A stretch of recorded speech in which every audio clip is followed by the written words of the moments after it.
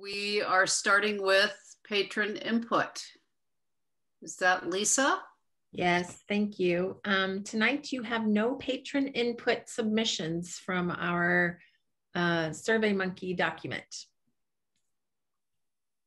And we're double checking to make sure it didn't. I break. did double check. I turned it on and checked the link and turned it off and checked the link to make sure it was the right link. It was the right link. You really have no input tonight. Okay, well. Um, so action items, um, Wes. Thank you, Chair Spires. It's good to be with you tonight. We have um, a bond-related item before you tonight, 2021-246.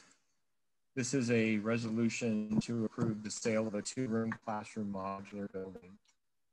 Um, the uh, district's policy for surplus property, um, disposal of surplus property requires that anything that is valued or estimated value of $25,000 or more um, must be um, declared surplus by a board resolution.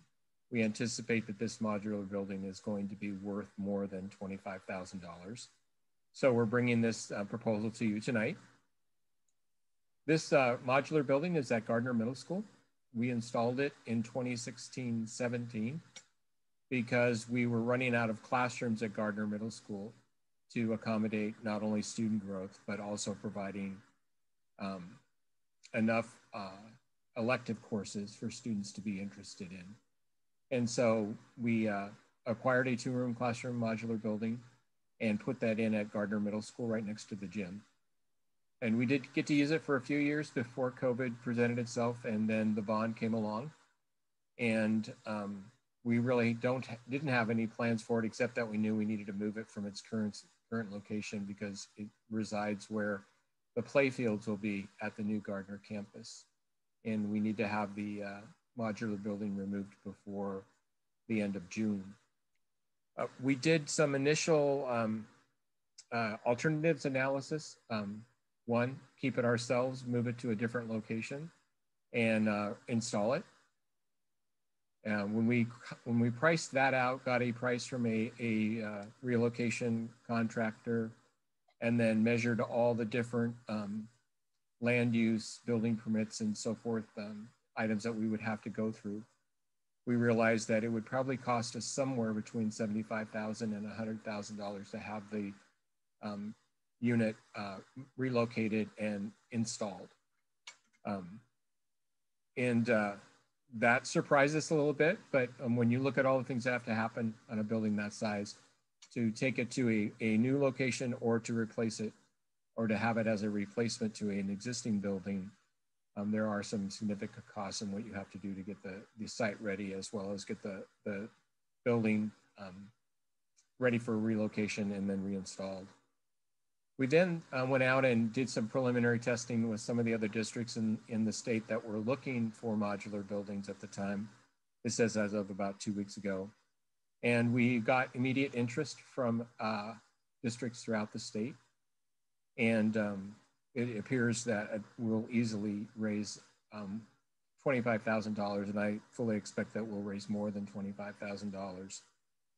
Um, we do have some, some districts in Clackamas County who are interested in the building as well, since it's such a short drive for them and the relocation cost would be significantly less. So if you were to assume somewhere between $25,000 and $50,000 in revenue versus 75,000 or $100,000 in cost, then the positive cash flow impact to the district would be somewhere between, um, I would say between 150 around 150 to 175 thousand dollars.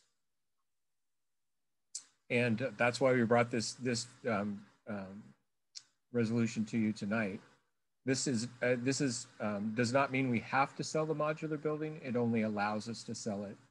And if we do not receive bids that are um, in the range that we expect them to be, then we'll take a step back and, and reevaluate the uh, the alternatives that we have before us but at this point, to even offer it in a competitive, non-binding um, bidding solicitation, we have to have board approval. so that's why we brought it for to you tonight. And I would be uh, more than happy to answer any questions for you. So So, Spires. Oh, Wes, sorry. Go oh, ahead. okay, I'm sorry. Um, No, I, I was I was going to make a I was going to move and then we could go to questions. oh, okay, yep, that's the proper, that's the proper etiquette, so go Thank- for it. Thank you. Uh, I move that the board approve 2021-246, uh, the sale of two-room classroom modulars or modular or one single. A second. All right, discussion. I, I wanted to ask, um, and then Rob will, and Yvonne, I just wanted to, um, I, I hear parents in my voice saying, I mean, in my head saying, um, why are we getting rid of space when we need to distance the kids?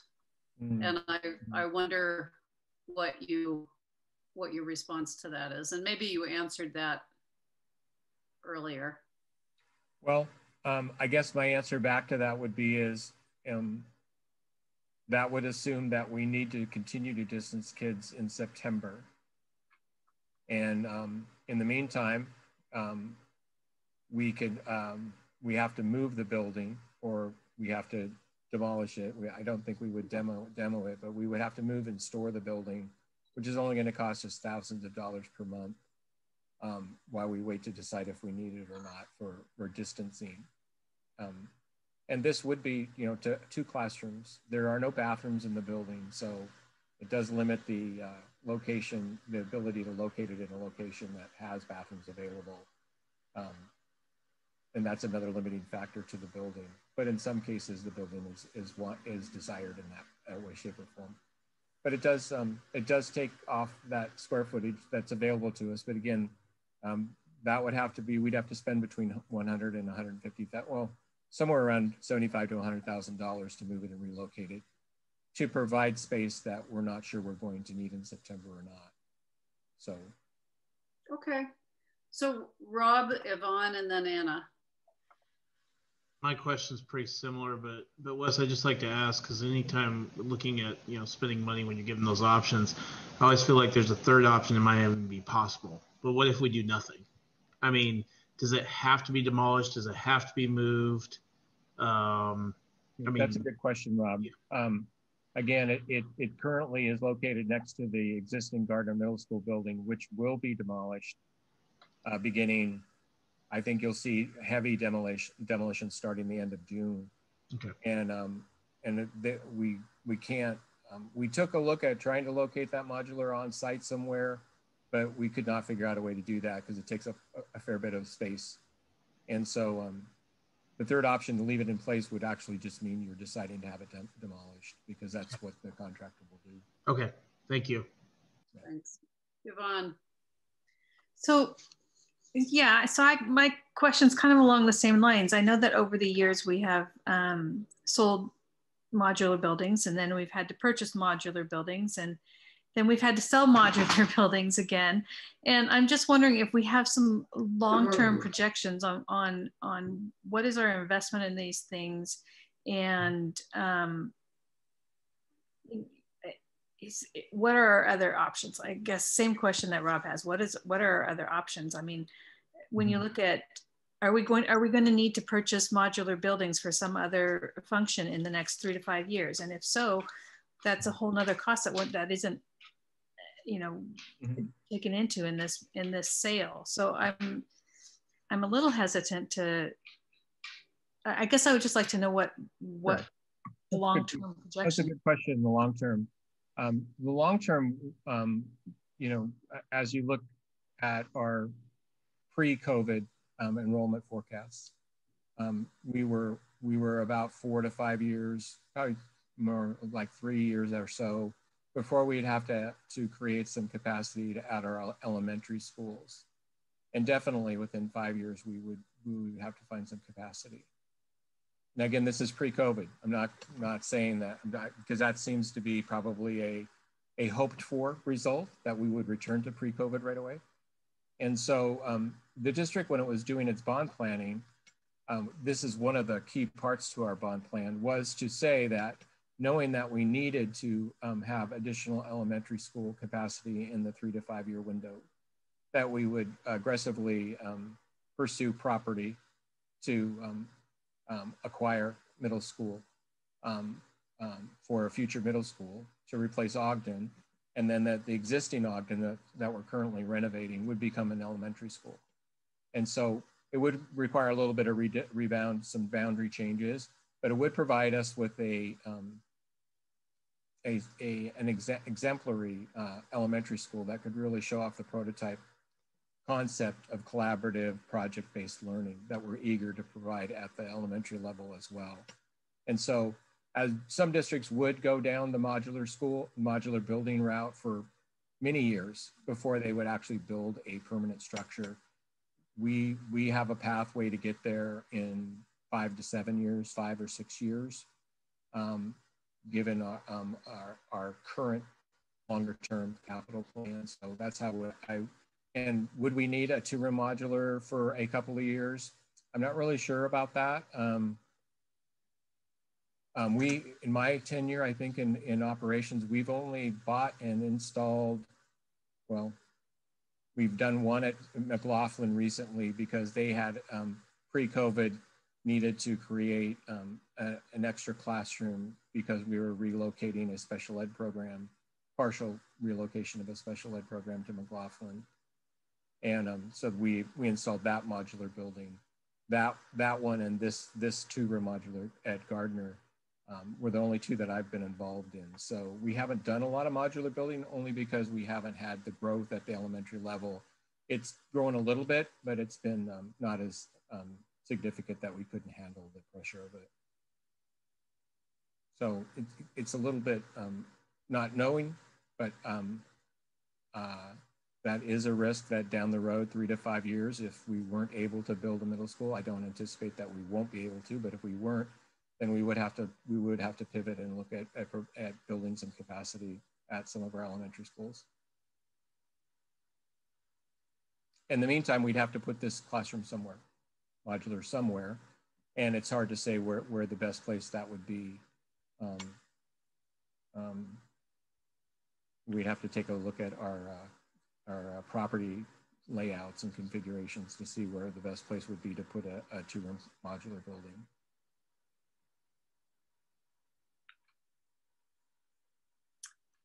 Okay, Anna.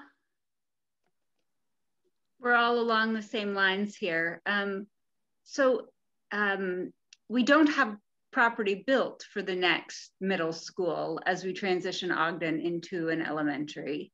Um, so we don't have a empty property to put it on. How many modulars do we have over at Ogden? Don't we have um, a little village. And, yes, that's what I was going to call it. Yeah, it is. It's a um, village. Yeah. But but we're renting those. Those are leased. Yeah, we leased, leased. those for a little over a year. That's correct. Okay. Um, and thank you. And so mm-hmm. then, given those factors, mm-hmm. if we sell this one now, yeah, and then we want to buy one in three years, the going rate's going to be roughly what we are selling a used one for now plus inflation, but we haven't had to pay for storage, maintenance, upkeep, and potential repairs. That's correct. Yeah. Okay. And again, it's um, when you look at the the growth patterns in Oregon City, it's it's hard to predict which elementary school is going to be the one that needs the um, extra capacity the most. And again, um, if you look at our longer term plan, the plan was to um, bring online a whole new elementary school, do some boundary shifts to support that new elementary school. And then we would be able to make a really significant dent or um, um, handle a lot of capacity changes with that because a new middle, our new, um, if Ogden was to become an elementary school, you could easily put 600 students. It's designed for 600 students versus but, this building, which is designed for 60. Right so so no, did I lose you? No, I'm sorry. Okay, you disappeared from my screen. I was going to oh. say the the obvious thing though you Yeah. know, we had Mike Reisling talking earlier about they need storage space. All of their big equipment's outside. Can't we fit at least a couple mowers in there? Yeah, that's a good question. Can it be repurposed? That's an excellent. Can it be repurposed? It's only structurally able to be repurposed as office space. Eh, yeah, I know. That, But that's a, but it's a good question. though. I mean, generally repurposing it for some other use. And Yeah. again, we'd still spend the same amount of money, about 175 to 100,000 dollars. Plus, we would have to add some remodeling then to put offices in it. So that would even drive the cost up a little further. just following the same thread here of how Mhm. can we, Yeah, no, how can we good think? Really good questions. Okay, so Connie and then Brian. Okay, um, Wes, how old is this modular? Um, it was uh, menu. Well, actually, it was built in 2016. Okay, so it's not that old. No, And. And and I know you said something about you know what the market will bear, but uh, can you give me the ballpark again on what it's worth? Uh, 25 to 50 thousand dollars. 50 would be on the high end. Okay, so I, I'm okay. So I'm going to make a blanket statement here that I would have, I would be really hard pressed to spend a hundred thousand dollars to move a modular classroom that's worth twenty five thousand dollars. So that's that's my blanket statement. Okay, Brian. Well, I guess the big elephant in the room is how does a how much does a new one cost? How much did that one cost, Wes, when we bought it?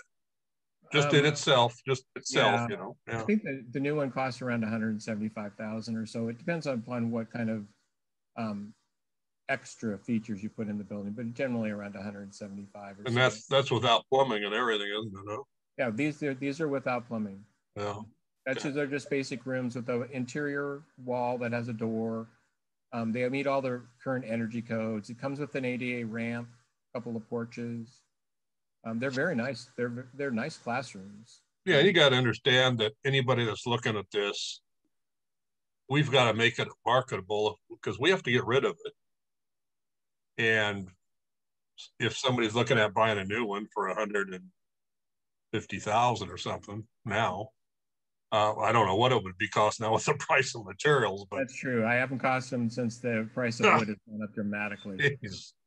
um, I would think that you know at at, uh, at fifty thousand max. I mean, obviously it's still kind of a bargain to them. So Yeah. who's ever having to do this because they're going to have to put a hundred thousand into it to get it.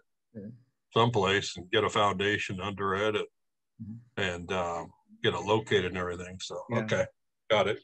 Yeah, I would think that the the it, as the new modular market, if it's gone up significantly in price, that's only going to drag the the price of used good used modular buildings will even go will go higher higher than their regular market price as well because of the fact that the market's so high. So are we ready to take a vote? Or is there, are there more questions? All right, Brenda, could you take, pull the board? I would love to. Director Clamp, Uh, aye. Director Farmer, Aye. Director Tekorius, Aye. Director Saul, Aye. Director White, Aye. Director Kerdeman, Aye. Director Spires, Aye. motion approved. Thank you for your time. Get a Sorry, good price. sorry uh, Putting you, putting you on the grill there. That's fine. Okay. Those are. No, those Yeah. are great questions. Good thinking questions. Those are great. All right, so the next meeting is May 10th, work session and regular session, followed by May 24th. And um, with that, I'd like to adjourn the meeting and wish everybody um, an excellent rest of their evening and a couple weeks. And thank you, everybody.